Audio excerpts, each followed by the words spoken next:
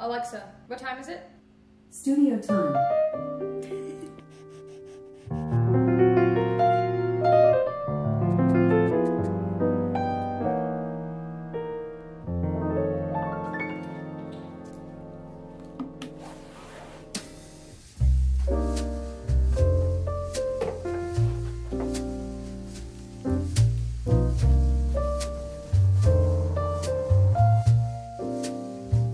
After finishing the keys piece, I decided to pick up where I left off with this piece. I started this piece last semester in the fall and I just stopped painting it. But here we are now, picking up where we left off. So so yeah, so I think I'm going to kind of draw out in my sketchbook and plan colors and what I'm painting and what I'm not painting, kind of pre-planning things. Whereas usually I do, I do not do that. But um, you know, new year, new me.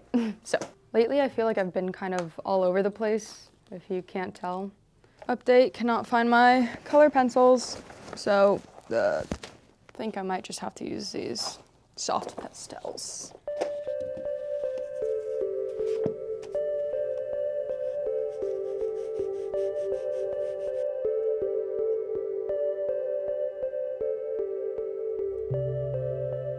This is what I came up with.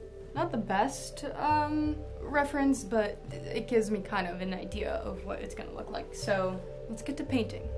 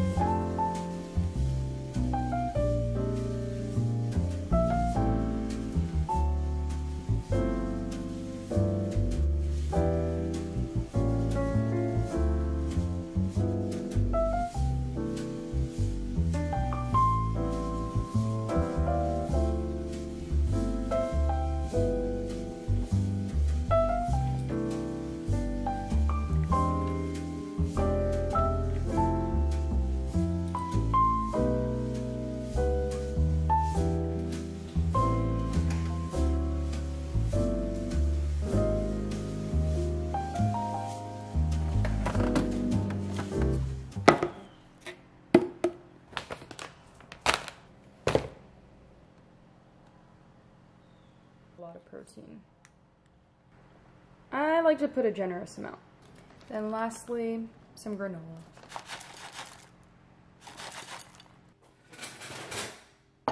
So our MFA reviews are coming up relatively soon. Um, our review is basically in about a month, like a month and a week, I guess.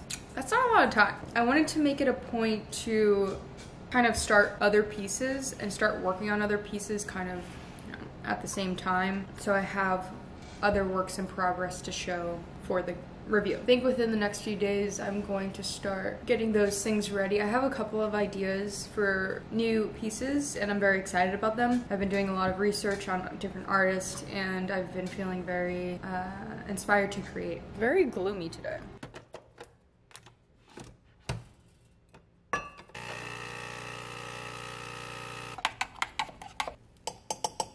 Alexa, what time is it? Studio time. I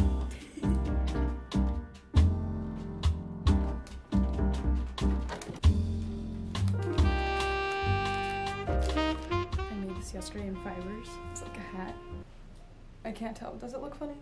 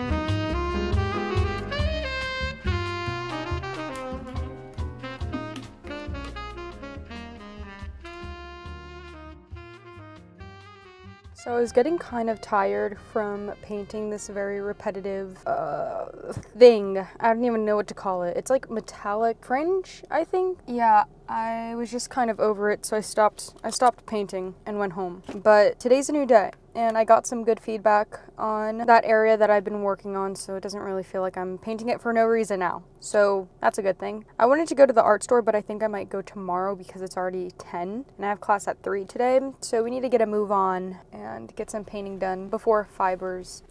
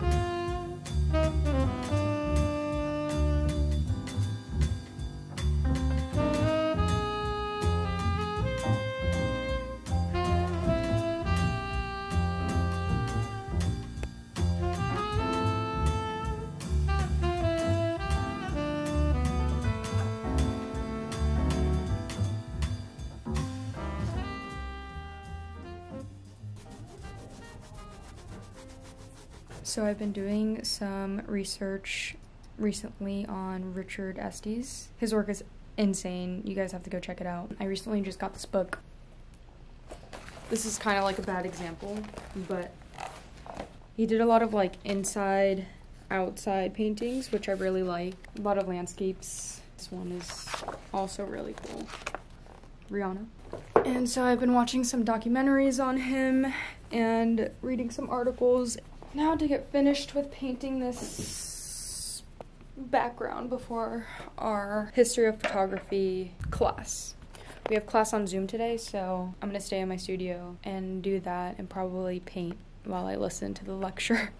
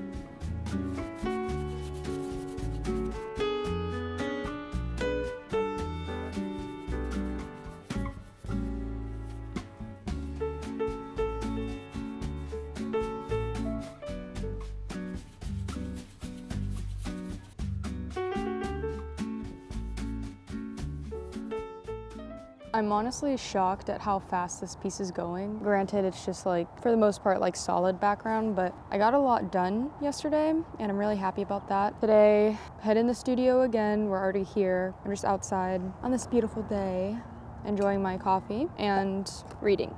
It's currently 8.51. I'm waiting for my phone to unlock, or my apps to unlock from my phone because I got an app blocker to block social media in the mornings until 9. 9 seems pretty early, but that's usually the time that I get to my studio, so that's what we're up to today. Just more painting and then that's it. Call it a day.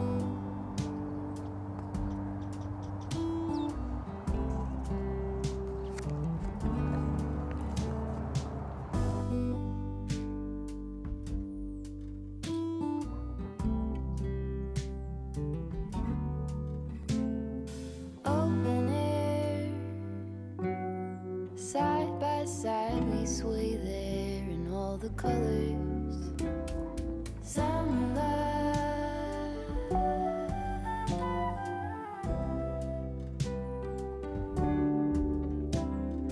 Lonesome dove. Folded on the lawn chair in all the colors. Love. I hope you can hear me because there's construction going on right behind me with the crane doing its crane things. Today, I don't know what of painting in my studio. It's been great. The weather's been great, so that's that's awesome. Yeah. Something that's also very exciting and awesome is this article that came out interviewed me for their local stories and it was released today. Very excited about that, very happy with how it came out. And yeah, go check it out. Talk about kind of like my backstory, how I got into art, some challenges that I faced along the way, and some more juicy stuff. So go check it out, go support, read it, short little interview. But yeah, I had a lot of fun doing it and I'm very grateful for Voyage Miami and them letting me share my story with you guys. I think I'm gonna get a little bit more painting done and then call it a day.